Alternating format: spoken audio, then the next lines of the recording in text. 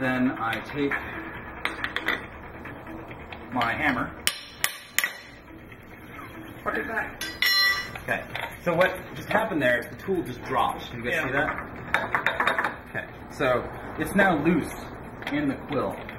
So I'm going to hold the tool itself right here while I unscrew the drawbar.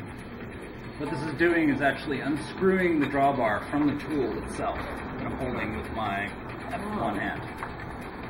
Now it's free. Got it. How much of this have you taken apart, by the way? Too much of it. okay. So this has two different forms of thread on it, depending on what sort of tool you're putting in into this machine. Um, this particular tool has the larger size hole in it. So what ends up happening here is that this drawbar goes all the way through the machine. You stick a tool in, or a tool holder, into the machine, and then you thread this into it. Now, this is a, a very important subtle detail about this nut right here. If you can imagine, this, if this nut wasn't here and this was just like a big machine screw, mm-hmm. if you were to tighten this all the way down to hold the tool in, when you went to take it back out again, mm-hmm. it would be very hard because the whole machine would just turn. Yeah.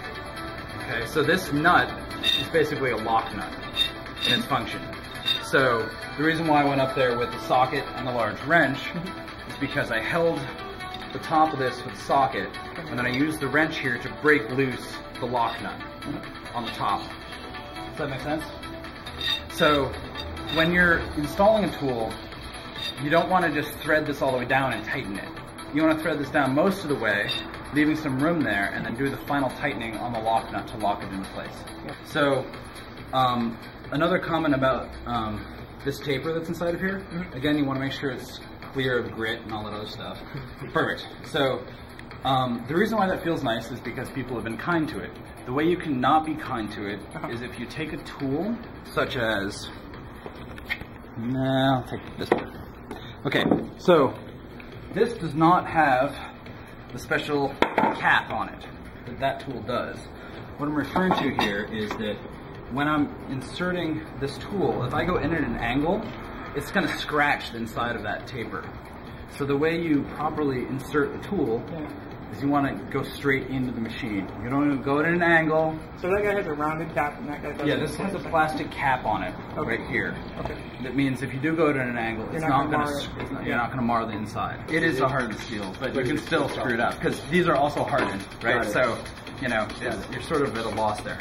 So when you insert this tool, literally you just want to go straight in, just like that. Now, um, for installing a tool, which I'll show, this is our drawbar. I'm going to just put this back in because having it out of the machine is not particularly useful. Okay. I take the tool holder, I insert it in here. Now, these things here, these blocks, these are called dogs. What dogs do, I'll explain in a moment, but see how when I'm pushing this up, how this drawbar goes up? Yeah. Then I just thread it in. A fair ways, but not all the way. Right, so that's in there pretty far, but I've left a gap there. So when I actually want to tighten the tool the rest of the way, I grab these two very uh, masculine tools.